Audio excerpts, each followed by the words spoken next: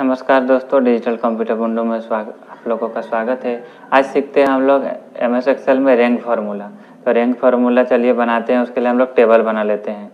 तो इधर से हम लोग टेबल ले लेते हैं, हम लोग इधर से हम लोग इतना सारा टेबल ले लिए, और इधर से हम लोग इधर टेबल ले लेते हैं।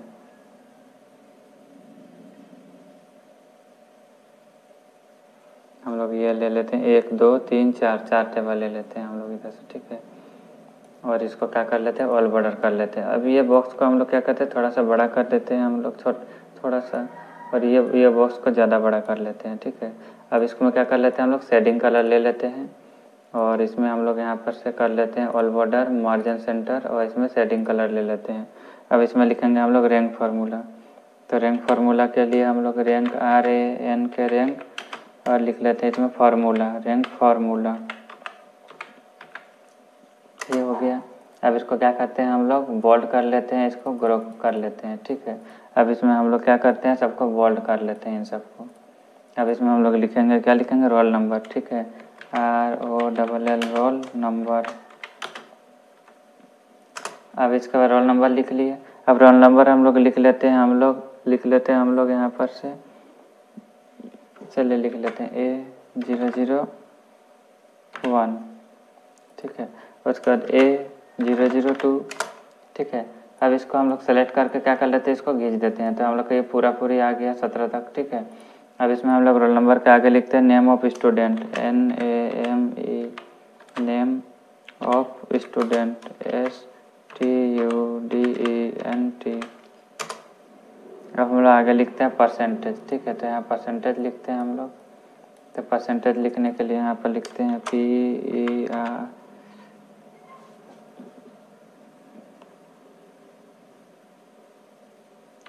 परसेंटेज ये हम लोग परसेंटेज लिख लिए, अब लिखते हैं हम लोग रैंक ठीक है? आर एन के रैंक ठीक। अब यहाँ पर नेम ऑफ़ स्टूडेंट में किसी भी विद्यार्थी का नाम लिख सकते हैं, ठीक है हम लोग? तो चलिए जल्दी जल्दी अब विद्यार्थियों का नाम हम लोग टाइप कर लेते हैं, ठीक है? जैसे कि हम लोग लिख लेते हैं मीरा कुमारी।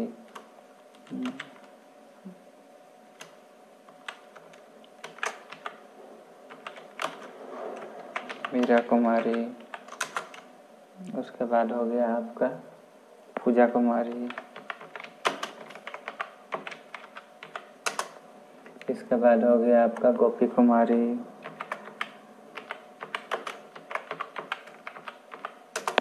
इसके बाद लिख लेते हैं हम लोग नीरज सेठ।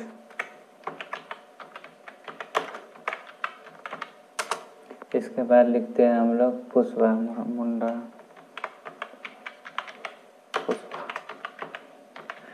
पुष्पा मुंडा फिर लिख लेते हैं। साधु मुंडा।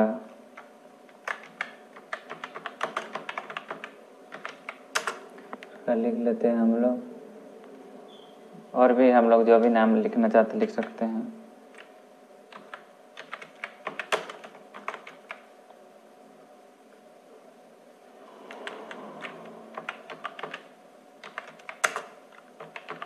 कुलदीप सेठ। गोलू अच्छा पीहू कुमारी। पिंटू कुमार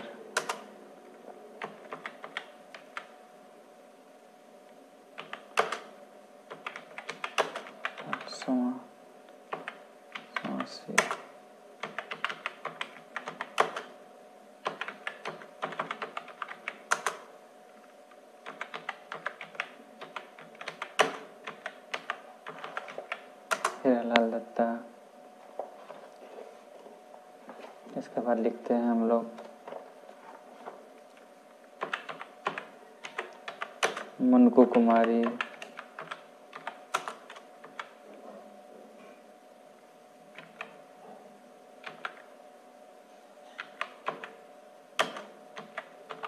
हरेंद्र दत्ता सुजाता कुमारी। और इनको अलग लिखना था ना, यहाँ से कट कर लेते हैं, चलिए कट कंट्रोल एक्स कंट्रोल भी ये हम लोग नाम लिख लिए।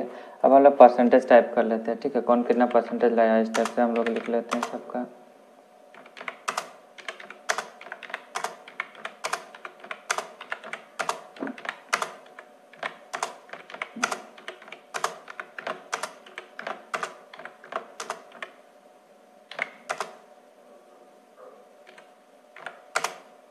ये हम लोग परसेंटेज टाइप कर लिए। अब इसमें से हम लोग रैंक देखना चाहते हैं, ठीक है सबका। तो रैंक के लिए रैंक फार्मूला हम लोग उपयोग कर लेते हैं। तो रैंक फार्मूला के लिए बराबर लिखते हैं रैंक बराबर आर एन का रैंक उसके बाद लिखना है आपको सिर्फ़ दबा के ब्रैकेट ओपन छोटा वाला ब्रैकेट ओपन कर लेना है। इसके बाद आपको किसका रैंक देखना है? इनका देखना है मीरा कुमारी का। तो इसमें हम लोग क्लिक कर लिए, इस सेल में आप इसका अंक में।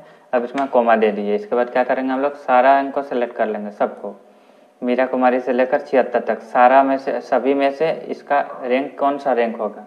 ठीक है तो हम लोग इसमें से हम लोग अब कोमा लिखते हैं और यदि हम लोग यहाँ एक लिखते हैं ठीक है तो यहाँ पर देखिए एक लॉ से असेंडिंग ऑर्डर में आता है ठीक है जो भी हम लोग यहाँ पर से रैंक निकलना चाहते हो असेंडिंग में आएगा और जैसे हम लोग ज़ीरो लिखते हैं उसमें डिसेंडिंग में आता है देखिए यहाँ लिखा हुआ है डिसेंडिंग के लिए हम लोग को ज़ीरो देना है और एसेंडिंग के लिए हम लोग को एक देना है तो चलिए हम लोग एसेंडिंग ऑर्डर देखते हैं इसलिए एक लिखते हैं और ब्रैकेट बंद कर लेते हैं और इंटर कर लेते हैं देखिए हम लोग ये बारहवें स्थान पर है ठीक है असेंडिंग उसके बाद हम लोग फिर से रैंक लिखते हैं रैंक फिर ब्रैकेट ओपन इसके बाद क्या करते हैं हम लोग? चौबीस में क्लिक करते हैं कोमा लिखते हैं, उसका सारे सबको हम लोग सेलेक्ट कर लेते हैं। इसके बाद कोमा लिख के हम लोग क्या लिखते हैं? वन उसके बाद ब्रैकेट वन जैसे इंटर दबाते हैं, इनका रैंक देखिए इनका रैंक असेंडिंग रैंक की रैंक की मदद से इसका क्या आया? वन आया, ठीक है?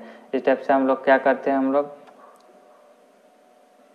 बराबर रैंक फिर से लिखते हैं हम लोग। ब्रैकेट ओपन करते हैं, ठीक है? और इसमें हम लोग क्या करते हैं हम लोग? यहाँ पर से इक्यावन में क्लिक करते हैं कोमा और उसका सबको सेलेक्ट कर लेते हैं, और क्या करते हैं कोमा उसके बाद हम लोग करते हैं एक, उसके बाद ब्रैकेट वन इंटर ठीक है? यदि आपको, ठीक है डिसेंडिंग ऑर्डर करना हो तो यहाँ पर ज़ीरो लिख देंगे, ठीक है? जैसे हम लोग अभी असेंडिंग के लिए वन लिखे थे जैसे हम लोग डिसेंडिंग के लिए ज़ीरो लिख दिए तो डिसेंडिंग ऑर्डर ऑर्डर आ गया हम लोग का ग्यारह ठीक है? हम लोग अभी असेंडिंग ऑर्डर लेते हैं वन लिख लेते हैं, ठीक? तो इस टाइप से और यदि हमको क्या करना होगा बार बार सूत्र ना लिखना पड़े। आप बोलिएगा, आप इसको बार बार सूत्र लिखने में तो समय ज़्यादा लग रहा है। तो एक ही सूत्र लेंगे, लिख लेंगे हम लोग एक ही का और इसको हम लोग क्या करेंगे, इसको यहाँ से घींच देंगे तो सबका आ जाएगा। तो उसके लिए क्या करना है आपको यहाँ पर से बी फाइव से लेकर जो सी ट्वेल्व सी इक्कीस तक जो आप यहाँ से यहाँ तक सेलेक्ट किए थे, उनको क्या करना है हमको फिक्स करना है। इनको हमको सेलेक्ट कर लेना है और शिफ्ट दबा के एफ़ फोर बटन दाब देना है, ठीक है? क्या करना है हमको? एफ़ फोर बटन दाब के हम लोग इंटर कर देना है, ठीक है? और जैसे इंटर करके हम लोग इसको खींच देंगे, हम लोग का सबका आ जाएगा देखिए ठीक है? वन टू थ्री फोर करके। देखिए, इनका ये देखो, इनमें भी वन आया, इनमें भी वन आया। क्यों आया? क्योंकि इन दोनों का भी परसेंटेज सेम है, इसीलिए वन आया, ठीक है? इसके बाद आप गौर कर सकते हैं, यहाँ पर बारह है तो यहाँ पर भी बारह है, क्योंकि इन दोनों का परसेंटेज सेम है। यदि हम लोग कम ज़्यादा करना चाहते हैं, कर सकते हैं। जैसे मान लीजिए इसमें सेवेंटी फाइव है तो सेवेंटी फाइव के बदले यदि हमको इसको सेवेंटी सिक्स कर देते हैं, चलिए। तो देखिए, यहाँ पर चेंज हो जाता है, जबकि सेवेंटी सिक्स किए तो। ठीक है? इस तरह से हम लोग क्या कहते हैं रैंक फार्मूला आसानी से निकाल सकते हैं। आशा करता हूँ यह वीडियो आपको अच्छी लगी होगी। अच्छी लगी हो तो इस वीडियो को लाइक करें कमेंट करें सब्सक्राइब करें। थैंक्स फॉर वॉचिंग मिलते हैं अगले वीडियो में।